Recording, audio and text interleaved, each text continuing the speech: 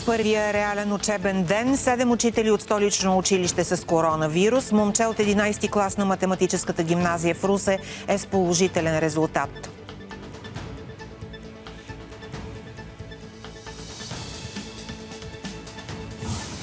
Майки на деца с увреждани от системата ни убива и хора на Майя Манолова са се барикадирали в фоето на парламента и отказват да излязат от, от там до оставката на Бойко Борисов. Първа реч за състоянието на Съюза на Урсула фон дер Лайен. Тя говори пред Европейския парламент в Брюксел за постигнатото през изминалата година и предизвикателствата пред общността в бъдеще.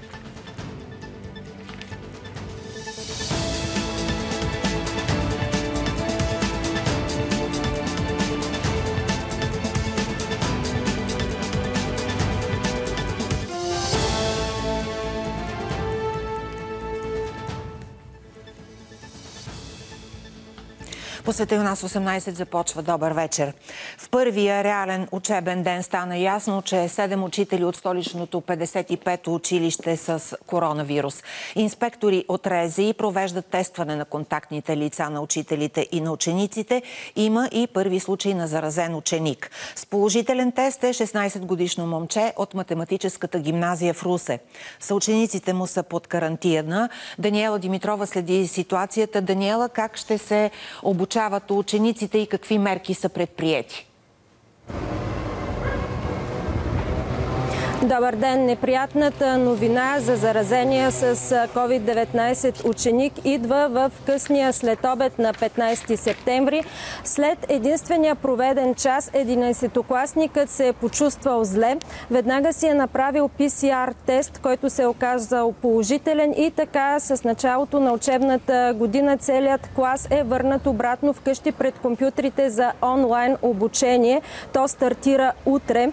Важно е да отбележим, че родителите на децата няма да бъдат под карантина. По наша информация е изолирано и момиче от 9 клас на гимназията, защото е било контактно на заразения младеж. И а, в момента от регионалната здравна инспекция извършват противоепидемично а, проучване на контактните лица.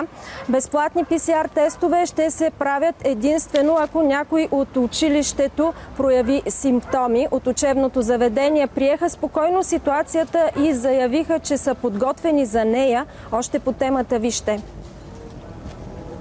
След положителния PCR тест, ученикът е изолиран вкъщи и няма сериозни симптоми. Вкъщи са и съучениците му.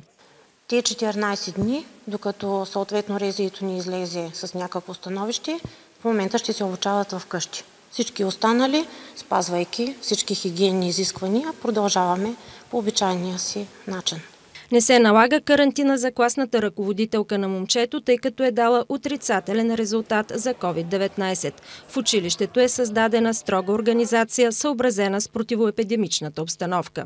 Дезинфекцират се съответно коридорите и санитарните помещения три пъти в деня по график. Дезинфекцират повърхностите и дръжките през това време, докато няма никой в съответната класна стая. С оглед на мерките учителя спазва дистанцията от всички деца от метър и половина, т.е. не се приближаваме. Учителя преподава с маска. Много от учениците обаче са притеснени. Всички се опасаваме за здравето си, но и за това всички гледаме да спазваме мерките, да носим лични дезинфектационни средства, въпреки COVID-кризата в математическата гимназия и преподавателите и учениците вярват, че присъствайки на живо в класната стая, ще освоят много по-добре материала, който е строго профилиран в различните паралелки. Даниела, извън случая с COVID, да те попитам и каква е информацията от днеска по казуса с замърсения въздух в Русе?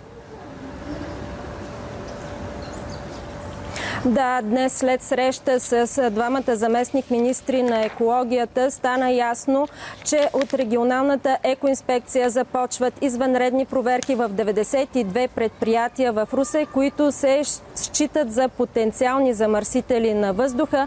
Града ще има две мобилни станции, като общината трябва да модернизира сега съществуващата с оптична система, която в реално време да отчита органичните вещества, които замърсяват въздуха въздуха. Знаете, през последните дни зачастиха сигналите на граждани, предимно в социалните мрежи, че в късните часове на деня се носи миризма на бакелит в града. Но повече подробности в следващата ни новинарска емисия. Благодаря ти за включването. Връщаме се към първия нормален учебен ден. Всяко училище подлага на тест мерките, които Министерството на здравеопазването даде като насоки.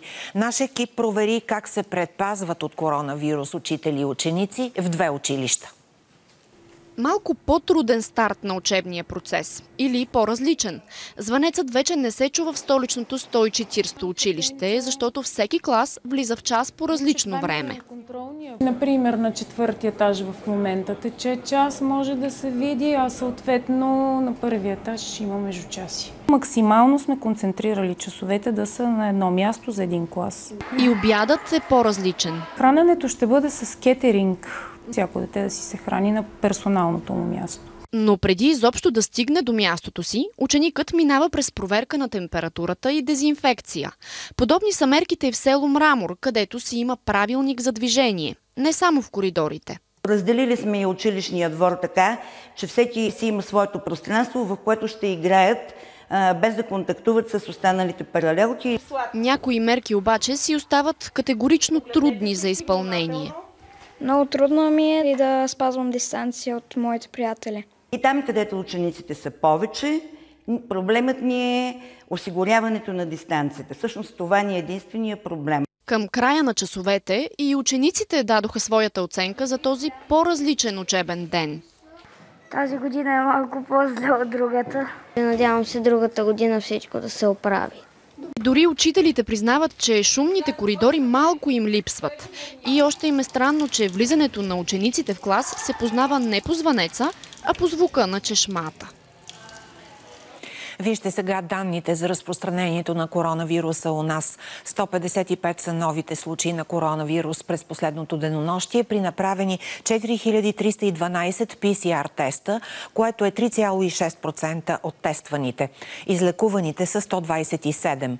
Починалите през последното денонощие са 7, като общият им брой вече е 736.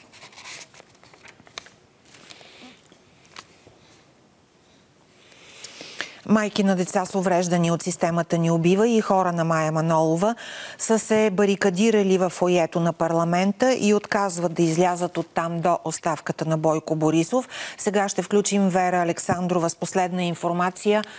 Вера, каква е ситуацията в момента?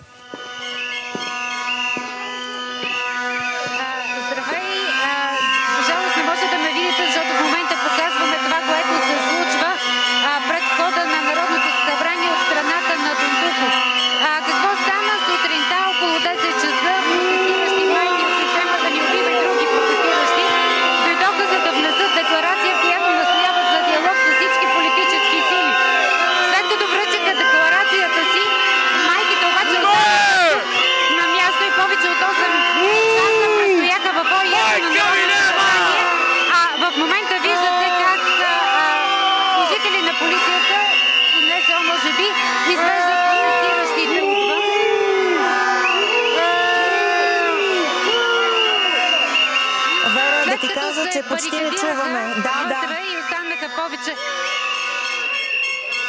почти не чуваме какво казваш. повече от 8 часа тук и обявиха, че няма. след като останаха...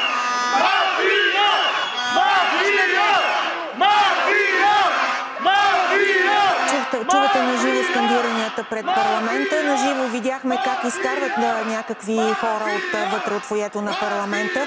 Почти не се чуваше какво казва нашия репортер на място Вера Александрова заради прекаления шум. Сутринта към 10 часа майки от системата ни убива и други протестиращи влязоха в Народното събрание, за да внесат в деловодството декларация, в която уведомяват депутатите за исканията на протеста. Преди това са внесли и подобна декларация при премиера с искане да подпише оставка. Се срещнем с всяка една парламентарна група, да раздадем тези въпросни 240 декларации, които сме предоставили и да чакаме те да бъдат подписани от народните представители. Майките казаха, че само БСП им обърнали внимание и започнали да търсят зала за среща, но председателят на Народното събрание Цвета Караянчева не разрешила. Те отказаха да напуснат парламента и останаха в фоето на един от входовете. Майка и детето й в инвалидна количка пък не били допуснати до туалетна. Това е по изрична забрана на Цвета Караянчева, а, ама изрична нейна забрана, тъй като тук цялата охранителна служба 10 пъти звъня. Понеже не ни, именно заради това решихме, че няма да си тръгнем. В смисъл оставаме тук до дупка. Охраната не е допуснала протестиращите до туалетна заради мерките срещу COVID, стана ясно от изявление на председателя на парламента Цвета Караянчева. Тя каза, че винаги са били отзивчиви и е изпратила писмото на майките до всички парламентарни групи. Не виждам каква е причината те да продължават да стоят тук и да... Да, виждам, че някакви декларации раздават на народните представители. Няма да позволя в Народното събрание да се правят провокации. Не бива да допускаме това, което се случи предния път с барикадираните сестри. Карая Янчева каза още, че парламентът не е място за деца и призова майката да го прибере. Не означава, че можете да оставите майка или дете с увреждания без достъп до туалетна. Това, което сте намислили, няма да стане. Резултата ще го видите във вечерните новини. При протестиращите дойде и Майя Манолова. Входът от към булевар Дундуков беше отцепен, а в парламента не можеше да влиза никой друг, освен депутатите.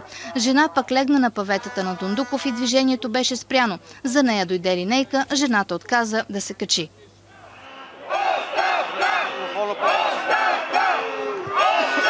Така, виждате на живо какво се случва по, по, виждате на живо какво става в парламента.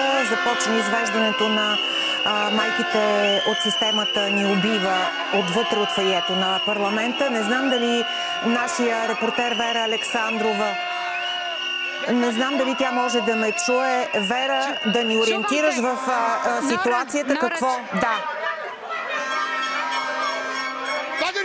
Това, което виждаме в момента е как НСО и полицията извежда от сградата на Народното събрание майките от системата ни убива и другите протестиращи, които бяха с тях. Както чухте от репортажа, те бяха повече от 8 часа тук.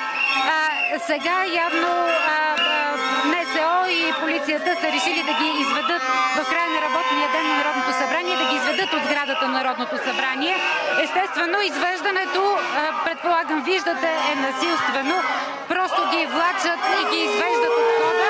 В момента, в който вратата се отвори, се чува освиркване, викове, хвърчат яйца и бутилки към полицаите и към Вера, представителите да на НСО. Да те попитам, знаеш ли останали ли са майки от системата ни убива вътре и протестиращи? Предполагам, че всички протестиращи, които са вътре, ще бъдат изведени. Явно това е акция. В момента сме свидетели точно на тази акция. Това и очакваха протестиращите, затова започнаха и да се събират. Някъде от 4 часа започнаха да пристигат хора и а, постепенно започна да се увеличава. Да. И в един определен момент те даже блокираха и булевард да, който вече в момента не може да се осъществява движението по него. Предполагам, че всички, които са вътре, ще бъдат изведени. Да, видяхме сега, видяхме до тук какво се случва.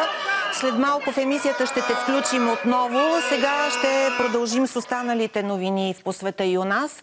Линията на бедност през 2012 година ще бъде 2020 година, прощавайте, ще бъде 369 лева. Това реши правителството. Увеличението е с 6 лева спрямо тази година. Ръстът ще се отрази върху месечната финансова подкрепа на около 670 хиляди души с увреждания. Тя ще се увеличи с 1,9%. Пенсионерите ще получат добавка от 50 лева и през месец октомври тя ще бъде изплатена на над 2 милиона и 100 хиляди души, независимо от размера на пенсиите им. За целта правителството отпусна повече от 105 милиона. Изплащането на добавката и през октомври е третата стъпка в пакета от социално-економически мерки, планирани от правителството. Значи над 105 милиона за абсолютно всички пенсионери по 50 лева за месец октомври. Това приемем в момента и мисля, че сме поели този ангажимент.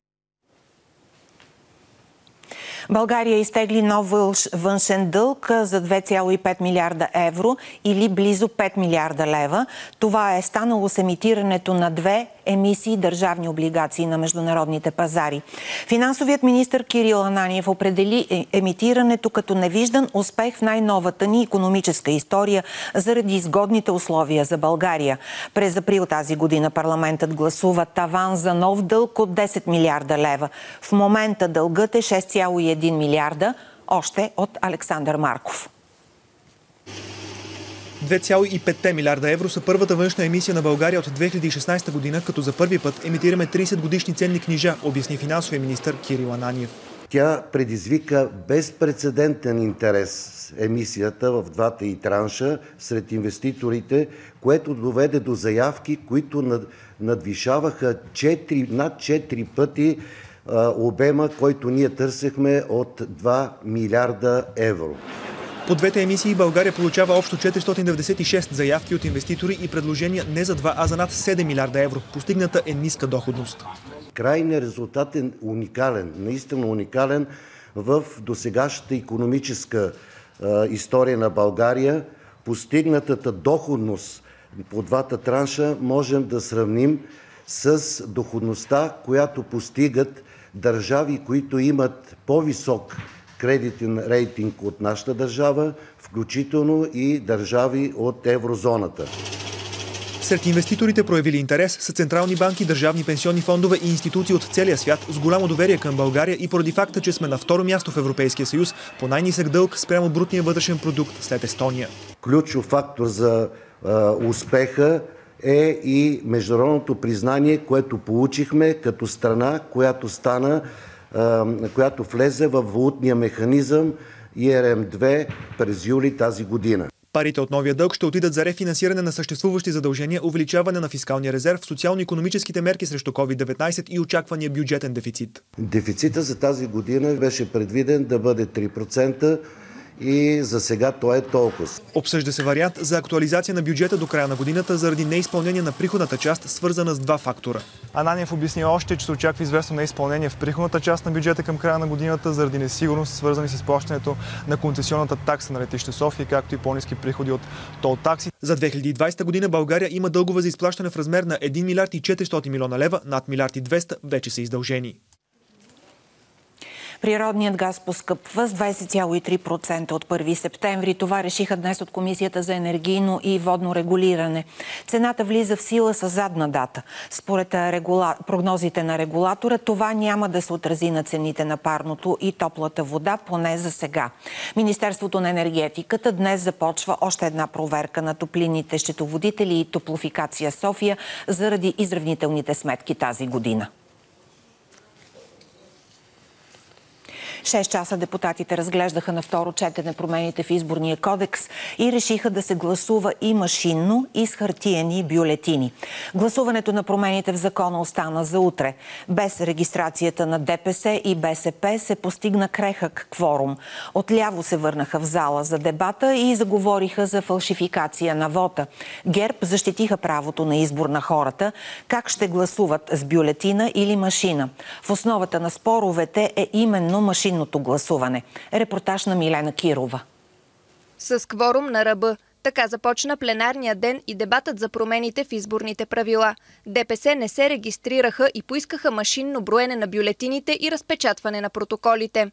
Този наложен от ГЕРБ проект е отстъпление от честността, прозрачността и демократичността на изборите. Последваха взаимни обвинения за фалшифициране на изборите. На улицата са стотици хиляди хора. Те искат оставка на правителството и прозрачни избори. Казвате им, правителството остава и чрез промените в Кодекса гарантираме фалшифициране на изборите, за да се върне същия модел отново. Аз съм изненадан от Вашия патос по тази тема. Шест месеца преди изборите да обявите, че те са фалшифицирани, преди да са проведени. До преди няколко дни Вас Ви обвиняваха, че ще фалшифицирате изборите в собствената си партия. Друг е въпросът, че а, очаквах от Вас да предложите изборните списъци за предстоящите избори да се напишат в деня на изборите. Очевидно БСП, протестиращите всички останали са се хванали за този проблем като за някакво магическо решение, бога от машината, който ще спаси българския изборен процес. Години наред се надува балона за магичното решение на честността на изборите чрез машинно гласуване. Конкретно предложение за нов председател на ЦИК няма, въпреки че вчера изтече срокът за това. Опозицията разкритикува управляващите. От ГЕРБ им отговориха. Ако вие наистина искате прозрачен изборен процес, ние очаквахме да поемете отговорността и да бъдете коректив на този изборен процес. Видяхме, че не можете да поемете тази отговорност и затова ще стартираме нова процедура, но може да се възползвате да предложите такъв или да изберете някой от неправителствения сектор. Номерата в бюлетините се запазват. Депутатите отхвърлиха предложението на ВМРО за отпадане на поредните номера. Да премахнем номера пред партиите в бюлетината означава, че по този начин ще могат да упражнят своето право на глас само тези хора, които са грамотни и които могат да прочетат за коя партия гласуват. Тезата, че това може и трябва да бъде образователен ценз е абсолютно недопустима. Тя, за мен, тя е антихуманна. А дебатът все стигаше до машинното гласуване. Защо вие, демократите от БСП, ще отнемете правото на хората, които искат да гласуват с хартиена бюлетина? Откъде на къде? А защо не ги питате, ако продължава тази пандемия с коронавирус, дали ще искат да пипат машините? Защото кой ще ги дезинфекцира?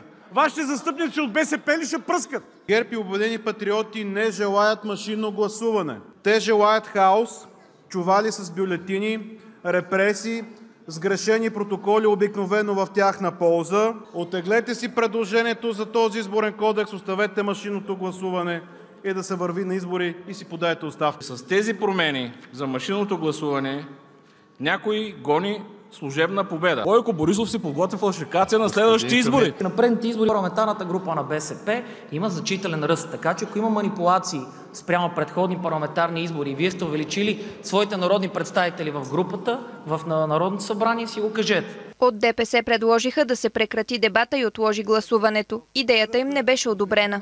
На ГЕРБ най-вероятно председателя им Бойко Борисов е дал указания да създадат хаос с тези промени, за да може за пореден път да има възможности за фалшифициране на изборите. Хартиената бюлетина дава и спокойствие на някои от нашите граждани, че могат да упражнят вота си. Ние от ГЕРБ не сме против машинното гласуване. След като реши да се гласува и машинно, и с хартиени бюлетини, в 16 часа парламентът прекрати заседанието си. Новият механизъм за върховенството на закона ще бъде представен след две седмици. Това каза председателят на Европейската комисия Урсула фон дер Лайен в ексклюзивен коментар пред БНТ в Брюксел и подчерта, че Европейската комисия е силно решена да защитава върховенството на закона и всички държави членки трябва да спазват принципите на правовата държава. Урсула фон дер Лайен произнесе първата си реч за състоянието на Съюза пред евродепутатите в Брюксел. Въвежда въвеждането на минимална работна заплата, нов пакт за миграцията и справянето с климатичните промени бяха сред темите. Сега още за акцентите пряко от Брюксел включваме кореспондента ни Десислава Апостолова. Деси, здравей! Здравейте от Брюксел. Пред БНТ Урсула фон дер Лайен каза, че новият доклад по механизма за правосъдието ще покаже колко силно Европейската комисия е решена да защитава върховенството на закона. Според нея проблемите в различните държави са различни. При някои са по-сериозни, при други по-малко сериозни, но при всички положения във всички държави членки върховенството на закона трябва да ще се спазва. Чуйте повече от преди нея. Вера. За прекалено много хора работата вече не носи доходи. Подбиването на заплатите нарушава достоинството на работещия, наказва онези работодатели, които плащат добри заплати и пречи на конкурентно способността на единния пазар. Това трябва да спре. Ето защо Европейската комисия ще предложи на страните членки да въведат рамка за минималните работни заплати. Деси, какво ще допълниш от това, което казаха евродепутатите след речта на Урсула? В речта си Урсула фон дер Лайн засегна и други много, много важни въпроси за Европейския съюз. Следващата седмица трябва да бъде представен пакта за миграцията, който засяга, разбира се, всички държави членки. Тя поиска и повече правомощия, свързани с справенето на здравни кризи, а също така подчерта и колко е важно Европа заедно економически да се справи от, след пандемията от коронавирус. Чуйте какво каза тя за въвеждането на минимална работна заплата в Европа. Дези ще чуем всичко това в следващата емисия. Сега ще направим отново пряко включване с Вера Александрова. В началото на емисията видяхте на живо как майките от системата ни убива и протестиращи бяха изведени от фоето на парламента. Те се бяха барикадирали там с искане за оставка на Бойко Борисов. Да видим какво става десетина минути по-късно. Вера?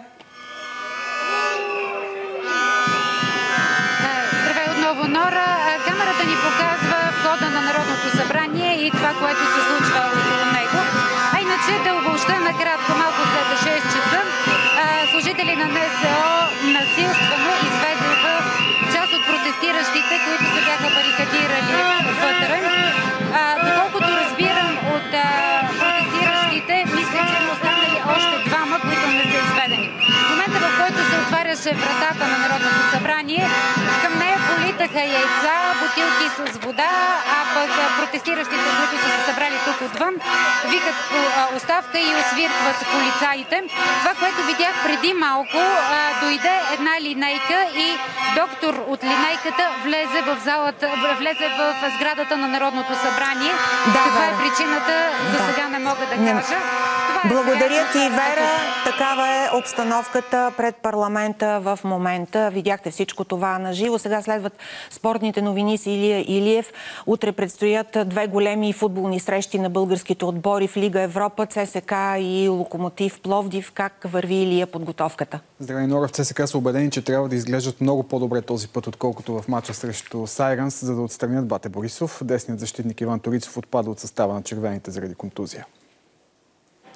Тук на стадион Българска армия утре вечер ЦСКА ще излезе за втория си матч от евротурнирите, като ще посрещне беларуския Бате Борисов. Отбор добре познат на българските фенове, но и отбор, който е нанесъл доста сериозни щети на тези наши тимове. Бате са много организиран отбор и най-важното ще бъде да бъдем колектив и да сме дисциплинирани, ако искаме да продължим напред. Ето още от очакванията на Стамен Белчев.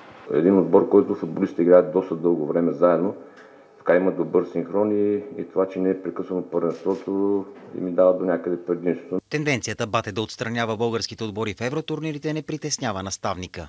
На крайно време да се наруши тази традиция. Надявам се ние да, да сме утре отбор, който ще наруши тази традиция.